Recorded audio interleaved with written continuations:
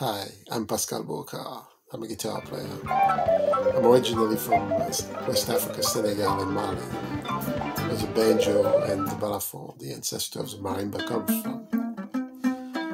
How did I fall in love with jazz? I don't think I deserve much credit for that. Uh, when I was in my mother's womb, kidnapped there for nine months, my father kept playing the modern jazz quartet, Sonny Rollins, Dizzy Gillespie.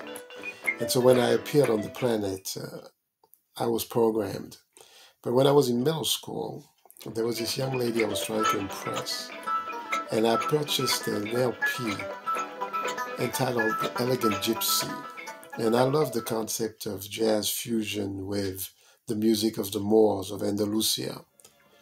And there was a scary guitar player by the name of Al Di Meola. And I found out that he went to the Berklee College of Music.